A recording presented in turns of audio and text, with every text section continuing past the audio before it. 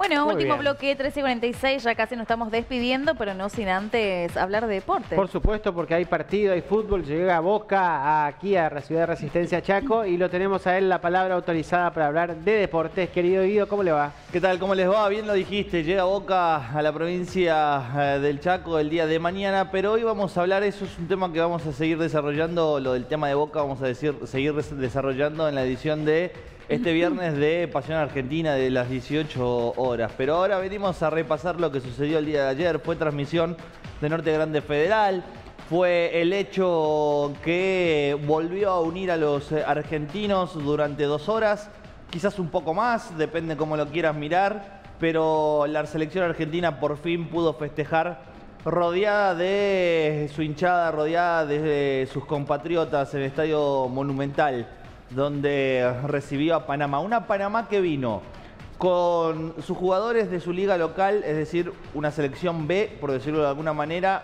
un ayudante de campo, no vino el técnico oficial porque Panamá debe jugar la Liga de Campeones contra Costa Rica el 28 de marzo, pero mandó un equipo que vino a rendirle homenaje y honor al fútbol argentino. ¿Y de qué manera podés rendir homenaje y honor en el fútbol argentino dejando absolutamente todo en la cancha? No vinieron a pasear, no vinieron a ser un eh, invitado más, un invitado de lujo de la fiesta argentina. No hubo goleada de la selección que debió correr, meter y tomársela muy en serio para poder ganarle a, esta Panamá que jugó con los dientes apretados, que metió cuando tenía que meter y que aguantó todo lo que pudo. Lionel Messi como sinónimo de eh, intentar insistir, insistir, insistir e- seguir insistiendo. Un ejemplo absolutamente único, eh, no desde solo desde lo futbolístico, sino como un mensaje de vida, como si fuera una cuestión poética, un cierre mágico a, a toda la carrera que vivió Lionel Messi con la selección, lo vivió durante este partido con Panamá. ¿Y por qué estoy diciendo esto? Porque estamos viendo en pantalla la cantidad de veces que Messi intentó a través de la pelota parada de los tiro libres meter su gol. Dos de ellos pegaron en los palos, dos fueron atajados por el arquero, incluso intentó un córner, un tiro de esquina eh, olímpico que el arquero también eh, lo sacó, otro tiro libre se le fue por afuera y en el séptimo, en el último, cuando solo quedaban seis minutos, terminó ensayando esta verdadera obra de arte. Tanto esperó Messi para ser campeón con la Argentina y nunca se rindió. Ese era el mensaje hermoso a la vida que nos había dejado el Mundial de Qatar. Y este partido con Panamá nos volvió a brindar este mensaje. Tanto insistió Messi con su gol a través de los tiros libres que finalmente lo consiguió. Parece que el destino tenía que ser así. ¿sí? Incluso un acto de justicia absoluta que fuera así toda la noche el partido de Lionel, intentando, intentando, intentando, intentando. ¿Por qué lo intentó tanto? Porque quería hacer su primer gol como campeón del mundo con la camiseta argentina. Quería llegar a su gol número 800 como jugador profesional. Tiene 701 goles entre el Barcelona y el PSG, obviamente con supremacía de goles eh, con el equipo culé, el equipo español. Y 99 goles con este, con la selección argentina. Contra Curazao tendrá la oportunidad de gritar su gol número 100. ¿Lo va a conseguir? Ojalá que sí, porque también sería como otra frutillita de, al postre en, esta, en este contexto de festejos. La Argentina que vivió una noche completa, los jugadores argentinos demostraron que se tomaron este partido con la seriedad con la que trabajaron todo el ciclo de Scaloni, no estaban solamente de festejo, podría haber sido el resultado más holgado, sí, pero lo importante era demostrar que dentro de la cancha, más allá de ya ser campeones del mundo, seguirán representando a la camiseta, tal como vienen repitiendo en cada una de las notas que han hecho en la previa y en el posterior a este partido. Y por eso vengo a proponerles algo hermoso, que es escuchar a los dos líderes que tiene esta selección. Lionel Andrés Messi y Lionel Scaloni. Los dos hablaron ante 80.000 personas una vez terminado el partido. Los dos incluso se tiraron flores. Es algo hermoso ver cómo se relaciona y cómo se maneja esta selección argentina. Yo soy un amante de Scaloni, de, Scaloni. Me encanta desde el 2018 que asumió como técnico. Para mí escucharlo es eh, olvidarme de todo y prestarle atención a él. Por eso también lo traigo. Pero primero, eh, primero arrancamos escuchando a nuestro Mesías. Messi, un prócer nacional. ¿Estoy exagerando? No, porque la RAE dice que prócer es toda aquella persona destacada eh, eh, por algo. Estamos acostumbrados a hablar de próceres por nuestro pasado, por aquellos que construyeron nuestra patria, relacionados a la política, pero también tenemos nuestros próceres deportivos. Lo fue Di Stéfano, lo fue eh, Fangio, lo fue Maradona, lo es Ginóbili y también, por supuesto, lo es el Lionel Andrés Messi, lo es Gabriela Sabatini. Son muchos que han llegado a esta categoría de prócer nacional gracias al deporte. Y este es uno de los mejores. Vamos a escucharlo.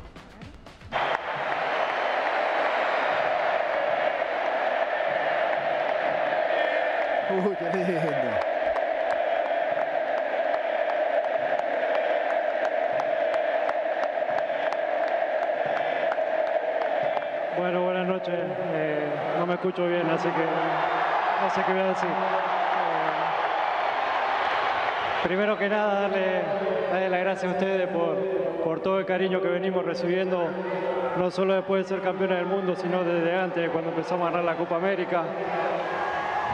Lo venimos diciendo durante muchísimo tiempo que íbamos a hacer todo lo posible por esto. Este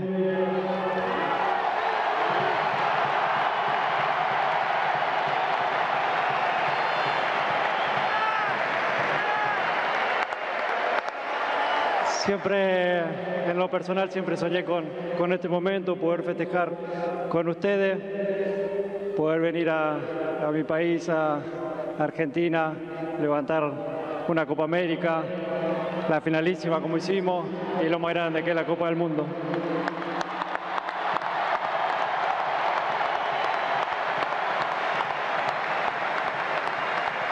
Yo sé que hoy es un día nuestro, que es el día donde estamos festejando los campeones, pero no quiero olvidarme de todos esos compañeros que tuve anteriormente, que también hicimos todo lo posible por intentar conseguir esta. Y lamentablemente no se nos dio, tuvimos, muy cerquita de, de la tanto de la Copa América, de mundiales, del mundial, pero ellos también se merecen el, respeto y el conocimiento del pueblo argentino porque también dejaron todo por esta camiseta.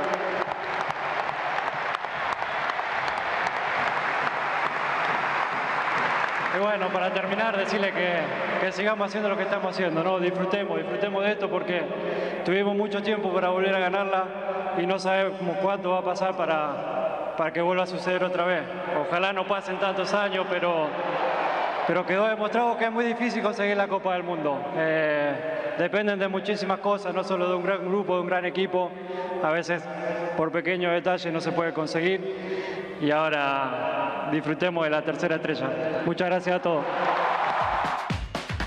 Lionel Messi como hecho y Lionel Messi como acción, no solo por lo que transmite dentro de la cancha con su hermosa zurda, porque hizo ayer un golazo y porque jugó el mejor mundial de su carrera en el 2022 y con 35 años, sino que también como acción, por todo lo que representa fuera de la cancha, su imagen como padre, su imagen como líder de familia, acompañado de su esposa Antonella, de sus hijos, los mensajes que deja en cuanto a la educación, un hombre completo, una personalidad digna de ser analizada desde lo sociológico y que estoy sin duda seguro que una generación de niños van a crecer con estos valores. Influenciados, no son ejemplos, son jugadores. No son ejemplos y ni deben serlo, ni deben sentirse ni actuar como ejemplos, pero indirectamente sí terminan reflejando eh, valores que después la sociedad adopta o no. Sucedió con el fenómeno Maradona y va a suceder con el fenómeno Lionel Messi después de la conquista de esta tercera estrella y esta Copa Mundial en Qatar. Uno de los que hizo eh, que este sueño se transforme en realidad Uno de los que hizo que la Argentina deje de mirar hacia atrás y pase a mirar hacia adelante es el Lionel Scaloni. Les, créanme cuando le digo que si usted un día está aburrida y pone a verse en YouTube todas las conferencias de prensa de Lionel Scaloni desde el primer día que es técnico de Argentina hasta la que dio el día martes ya siendo campeón del mundo en nuestro suelo, va a encontrar una línea eh, que nunca genera o nunca da lugar a la controversia, que nunca da lugar a la contradicción, coherencia y sobre todas las cosas eh, convencimiento del camino y de los pensamientos. Por eso fue esto lo que decía nuestro entrenador, que estará sentado en nuestro banco de suplentes por lo menos hasta Estados Unidos, Canadá y México del 2026. Así hablaba Lionel Scaloni en medio de una hermosa ovación. Bueno, basta. Eh, ya está, ya está rota. Bueno, el, el padre de la escaloneta está allá arriba, eh, que me pudo venir a ver hoy y, y para mí es el regalo más grande del mundo. Eh, quiero decir solo esto. eh, agradecimiento eterno a este grupo de jugadores. El fútbol es de ellos y sin ellos no podíamos haber salido campeones del mundo. Todos los que pasaron por este proceso, como dijo Leo, los anteriores, todo lo que se pone en esta camiseta, créanme, porque nosotros en el cuerpo técnico también lo hemos vivido, todo lo que se pone en esta camiseta dejan hasta la última gota de sudor. Y a veces el resultado no se da. Esta vez se nos dio y es increíble.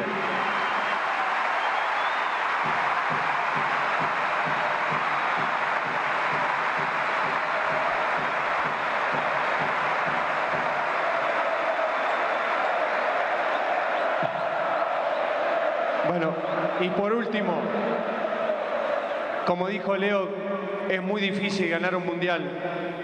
Creo que lo tenemos que disfrutar. Ver a la gente y ver a ustedes así es algo que no tiene precio. Lo he dicho muchas veces, pero no tiene precio. En mi vida pensé que iba a tener este reconocimiento y ellos ahora se están dando cuenta lo que han logrado. Y todo gracias a ustedes y por ustedes. Chao.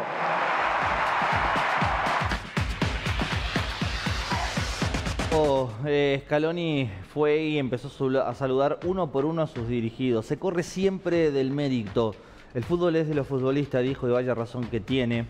Quiero resaltar la actitud de la AFA de entregarle una réplica a cada uno de los campeones del mundo. Seguramente Alejandro El Gómez eh, recibirá en Sevilla la suya, el único campeón del mundo que no pudo estar presente, porque el Sevilla pelea el descenso y él se está recuperando de una lesión que eh, se generó en el Mundial y por la cual debió pasar por el quirófano. Es la explicación por la cual no estuvo presente anoche y tampoco estará el día martes en Santiago, ni menos el lunes en Luque, en Conmebol, cuando la Federación eh, Sudamericana de Fútbol le entrega un homenaje a toda la delegación argentina que viajará de Buenos Aires a Paraguay.